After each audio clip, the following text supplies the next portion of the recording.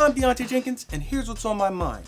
The relationship between a director and a cinematographer is the most important relationship that you can have on set. Now, normally when a director finds a cinematographer that they work very well with, they stick with them. And that is definitely the case with Steven Spielberg and Janusz Kaminski. Starting with Schindler's List in 1993, their collaboration has spanned nearly three decades. And in that time, they've worked on films such as the aforementioned Schindler's List, Amistad, Saving Private Ryan, War of the Worlds, Catch Me If You Can, Munich, Lincoln, Bridge of Spies, The Post, and so many more in between. But it was in that first collaboration where they really gelled, with Schindler's List winning them both their first Oscars. But before we get into that, if you like content about cinema, storytelling, and filmmaking, hit that subscribe button and make sure the notifications are turned on so you can see every time I post a video. Give this video a like if you think it's cool, and follow me on social media.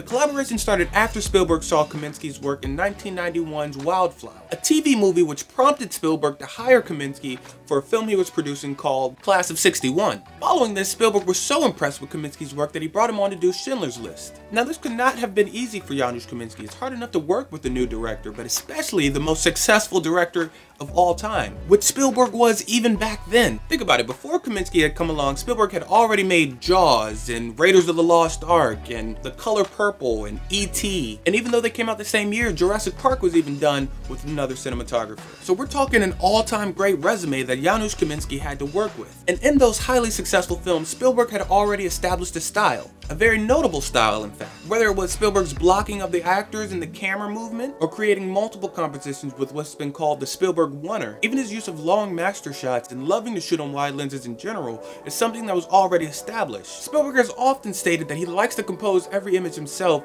and even chooses his own focal length for me directing is camera work. And so I'm very on the front line of that. I've got to set up the shot, I've got to block the actors, choreograph the movement of the scene, bring the camera into the choreography, figure out when the camera stops, how it moves, how far it moves, what the composition is. So I've always got my eye on the lens, and that's what I do. I even pick the, the lens I want. He's going to shoot at that you know, I would say with about a uh, 50 mil. So what can a cinematographer bring to the table with a director who pretty much loves to compose every image himself and has his own style of camera movement? With every director comes their own visual style, and Janusz Kaminski knows that it's the director's job to place the camera. That's his job, man, put the camera. That's the director's job. You put, you know, you put the camera where you think it should go, you're getting paid for it. You know? And then it's another story, how much collaboration there is, how much some directors are totally not interested in putting the camera, you know. So it's the cinematographer's job to take the visuals that the director is creating and assist and enhance those visuals. And that's exactly what Janusz Kaminski does. Whether a cinematographer is composing the images himself or not, they have their own tools in their toolbox to use. Tools such as lighting. To keep up with the quick on his feet Spielberg, who often works with 20 to 30 setups a day, Kaminski lights in such a way as to give Spielberg almost unlimited freedom with his trademark dynamic blocking. Kaminski uses lights in blobs or layers, not very defined but always with character, and he uses smoke or haze in order to spread the light.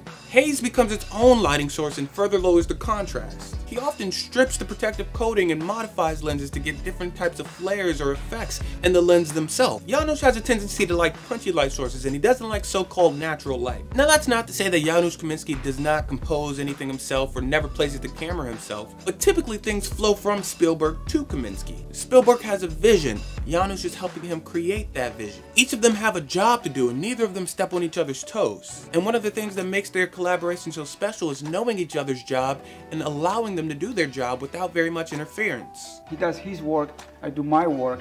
Uh, he's very complimentary, I'm very complimentary of his work. Uh, there's no fear, there's no competition. He is taking my work away from me. I'm imposing my, my ideas. And he, no, he does his stuff and I do my stuff. You know, even after 27, 25 years, you don't want to inform, give too much information because then you subject yourself to being questioned, to being questioned. And sometimes I don't really have an answer, it just feels right. You know, why is that light up there? Uh, What's up there? Why is it bouncing? I don't know. It feels right for the for the story. Okay, okay, good. So each of them bring their own tools to the table. Janusz has his own style of lighting that's very unique to him. So you have a Spielberg composition, but those compositions don't look the same without Janusz Kaminski's lighting. I use light or void of light and shadows to tell the story. And I have certain aesthetics.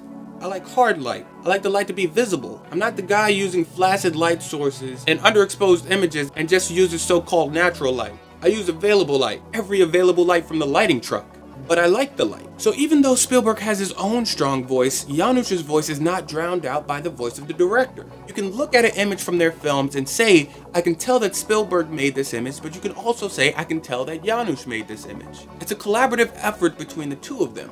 They both have their own personal style and they bring it to the table and mix it together. But with Janusz, you can't forget about one thing. That's the backlight. The backlight is Janusz Kaminski's primary weapon. He's known very well for backlighting a scene as a second or even primary key light. With exteriors, Janusz Kaminski likes to backlight the subject against the sun. This method has a one-sided effect that's another Janusz Kaminski signature, the super hot rim light or hair light. Very rarely do you get the opportunity to overpower the sun, so he lets his rim light blow out. This carries into his interior work as well, which gives his interiors and exteriors a sort of continuity. A director like Spielberg, who already had a tendency to love silhouettes, and a cinematographer like Janusz Kaminski, who loves backlighting, is a match made in heaven. When you look at the best cinematographers, not that I'm the best, but you look at the significant cinematographers, they all have the same principle. There's a sense of reality with placing the light sources in frame and then motivating the artificial light, the direction of the light from the existing light source. If in my opinion that doesn't work for me, if it's not dramatic enough, I'll create different lights that have nothing to do with reality for the sake of improving the movie and the storytelling. Seriously, look at Spielberg's films before and after Janusz Kaminski. Even when he did use backlight, it didn't have the same depth or mood or atmosphere that it did after Janusz. How about just lighting their mouths, and nothing else? I was just going, you know what? That's wonderful. Him, I wanna know him. I wanna like just from the top. No, so we got some shadows here, just like, I just want to make sure we're not being too um, on the nose with the, you know, the badness of the character by having a straight down light. Everything we do in this medium is about light and shadow. How the cinematographer lights the actors, lights the set. Their relationship has grown over the years, so much so that they don't even need to do any visual planning. Spielberg has said that Janusz can walk in a room and know immediately how to light it. That takes a lot of trust between collaborators.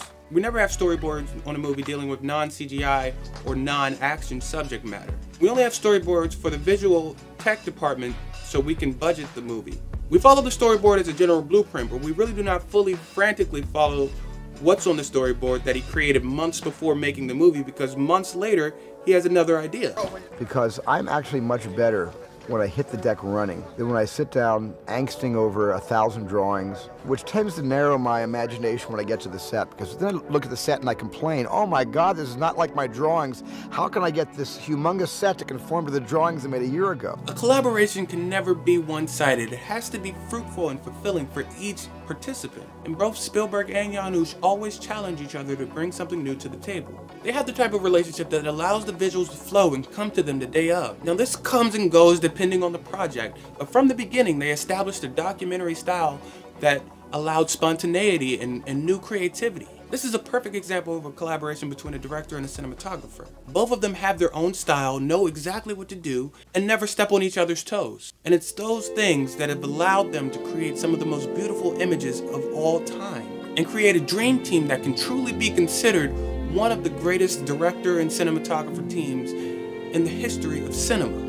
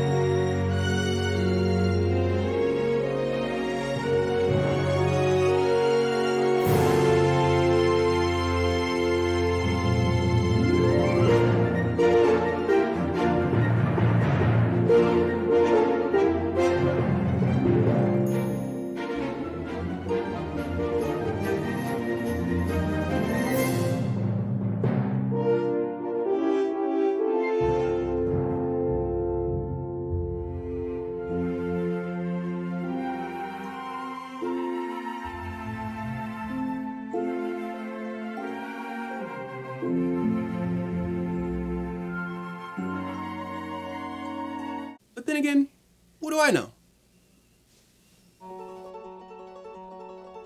Thank you again for watching, guys. Make sure you hit that subscribe button if you haven't already. Give this video a thumbs up if you thought it was cool. You can check out my latest short film here, and be sure to come back next time, because I kind of like it. I'm DiAnté Jenkins. You can follow me here on social media, and I will see you next time. Peace.